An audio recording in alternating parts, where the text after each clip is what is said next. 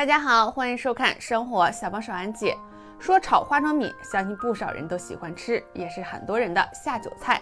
但是不少人发现自己在家炒的花生米不好吃，那怎么办呢？今天教大家一个炒花生米的小技巧，这样炒出的花米呢是又香又脆。赶紧跟视频一起来看看吧。首先第一步需要清洗花生，这样可以洗掉花生上面的灰尘和杂质。时间不宜过久，大概一分钟左右就可以把水倒出，然后沥干水分。像这样过一遍水炒花生时也不容易糊。炒花生米时一定要热锅冷油，先把锅烧热后再加入油。这时将花生放入锅中，为了让花生均匀受热，一定要不停的翻炒。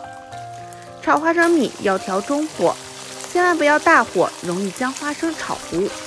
当听到大声的噼啪声音，我们就可以关火。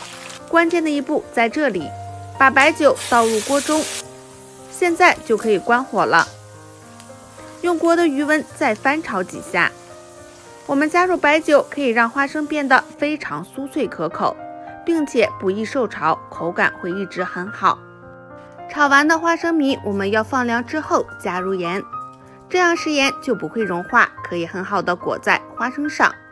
现在花生米已经完成，不仅不糊锅，而且非常香脆可口。